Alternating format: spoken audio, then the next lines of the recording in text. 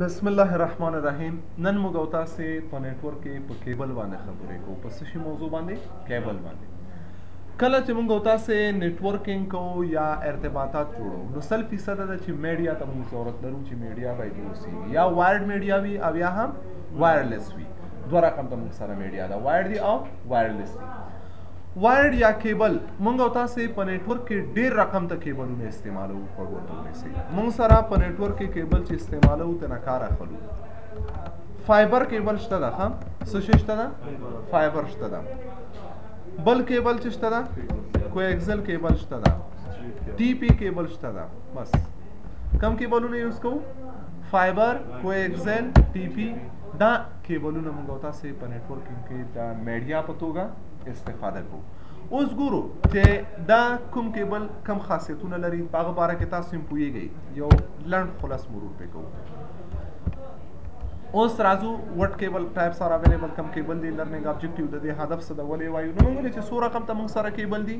درې رقم ته کیبل دی کو ایکسل کیبل یو ټي پی یا انشلډډ ټویسټډ پیئر او بل څه شي دی فایبر اپټیک کیبل دی موږ سره یو کیبل دا ټي پی ټي پي اټس مين ټويسټډ پير ټويسټ معنا تاو ټويسټ څه معنا تاو شوی پير جوړه ټويسټډ پير یعنی هغه کیبلونه چې جوړه جوړه سره تاو شوی دی هغه ته څه وای ټويسټډ پير کیبل وای لکه عموما اکثریت ځایونو کې موږ تاسو ټي پي کیبلونه استفاده کوو دغه ټي پي کیبلونه هم دوه رقم ته دي څو قسم ته دي دوه رقم ته دي په دې کې یو دی یو ټي پی او بل دی اس ټي پی یو ټي پی انشلډډ ټویسټډ پیئر او اس ټي پی شلډډ ټویسټډ پیئر ها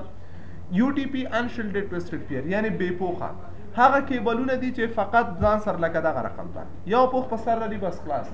کمبل اضافي پوخ نه لري دې ته یو ټي پي کیبلونه وایي چې عموما خلک په شپخانو کې په مکتبونو کې د فاترو کې د یو ټي پي کیبل نه استفاده کوي د لوکل نتورک لپاره اس ټي پي او یو ټي پي دواړه سیم ټو سیم دي خو فرق په دې کې دا ده چې دا اس ټي پي په سر باندې یو بل ضرورتي پوخ هم لري ځان سره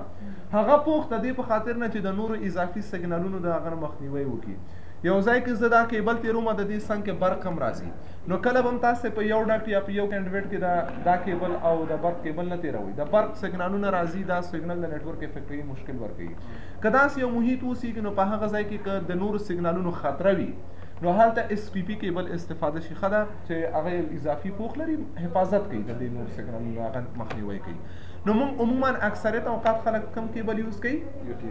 یو ټي پی کیبل ځکه نن سبا چې ته کیبل لګې هغه ته به ډک لګې ډک چې د ولګاو نو د یو وړوکي پوښ ضرورت نشته ته بیا چې هغه موږ ایس ټي پي اضافه کیبل راخلو نو یو ټي پي کیبلونه راځي یو ټي پي کیبل موږ سره دا ده یو ټي پي یو ټي پي کې هم موږ سره څو قسم ته وجود لري یو دی کټ 1 کټ 2 کټ 3 کټ 4 کټ 5 کټ 5 ای کټ 6 او اوس کټ 6 ای هم راغلي دي ښه دا ان ده بالکل مشکل نه لري کنه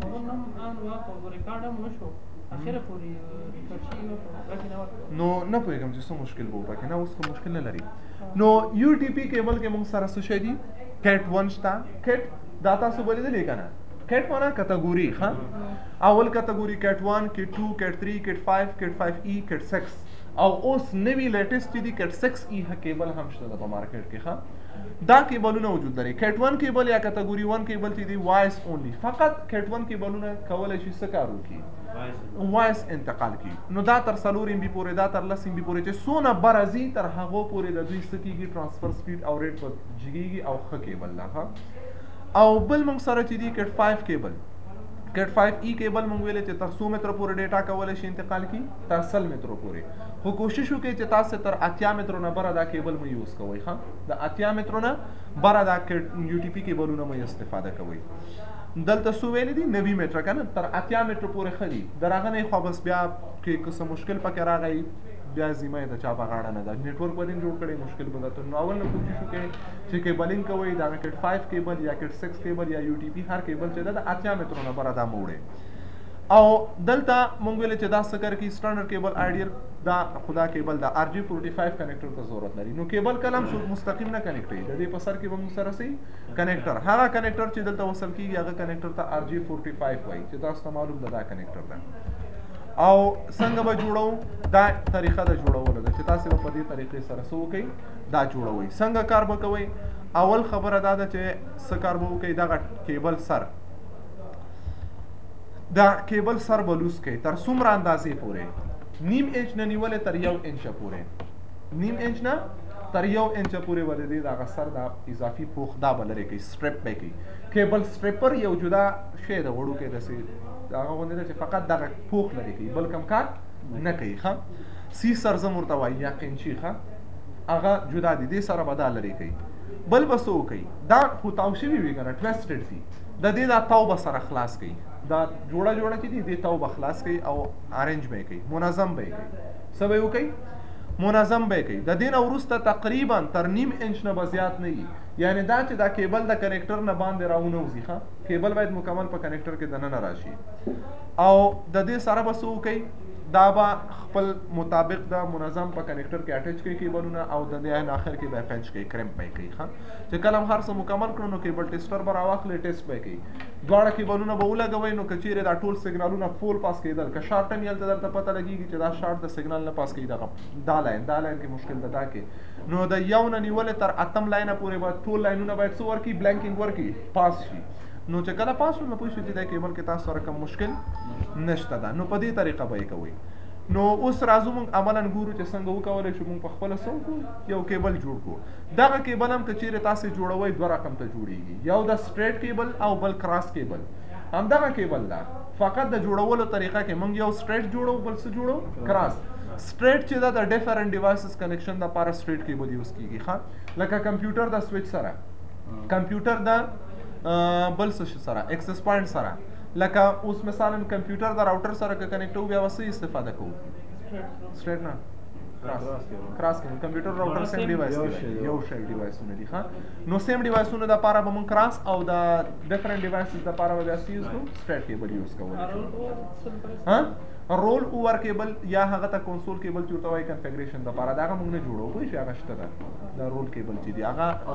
کنفیګریشن د لپاره دی کوی شي ځکه چې دا یو سر سیریل دا بل سر مثلا د دې یا شاید کنسول لپاره ووسیږي بل سره شاید د ایترنیټ اوسېږي هر څه چې اوسېږي نو هغه د کنفیګریشن لپاره هغه کمیونیکیشن لپاره موږ هغه او نو دا موضوع موږ سره دا کیبل به اوس عملا ګورو چې موږ تاسو څنګه کولای شو دغه کیبل جوړ کړو او فایبر کیبل چې دا فایبر کیبل هغه تر 2000 متر پورې ډیټا انتقالوي تر څو پورې تر 2000 متر پورې توانایي لري چې هغه ډیټا انتقال کړي سپیډ یا سرعت هم هلته پکې ډیر زیات ده دلته د سپیډونو ګورې ټول خصوصیات ته ډیر کل شوی دي چې څه ده او عموما په هغوی کې دی فایبر درته معلومات شته چې یو ګلاس ده څه شي ده ګلاس ده کله چې تاسو فایبر یوز کوئ فایبر هم په لوکل نتورک یوز کوئ شي ښه شته د فایبر نو کچیر تاسو یو نتورک ده سل متر دی یو نیم سل دی یو بلډینګ وي زیاته فاصله بل یو نیم سل متر وي دا کیبل تاویږي لوب خوري فاصله به کمه وي خو بیا هم نو تاسو که غواړئ چې کلم نتورک صحیح وي او د سل مترو نه زیات نو تاسو به کم کیبل یوز کوئ فایبر کیبل یوز کوئ ښه فایبر کیبل چې دا نو هغه د یو ګلاس یو شیشه یي کیبل ده چې سپیډ د ډیټا هم زیات ده او تر زیات وخت پورې هم ډیټا کولی شي څو کې هغه انتقال کړي بیا دې فایبر کې چې دي څو قسم ته دي سنگل موډ کیبلونه دي ملټي موډ دي په هغه کې وجود لري خو موږ اکثریت اوقات موږ تاسو د سنې استفاده کوو د دې لوکل نتورک د یو ټي پی د دې نه تر سم متر پورې چې ډیټا یې د دې نه کار اخلي دا به